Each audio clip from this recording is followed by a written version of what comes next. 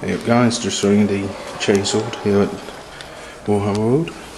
Just so you know the size of it. That's the handle.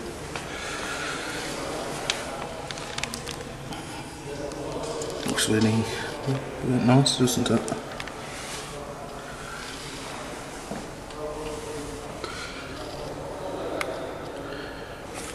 Just so you it.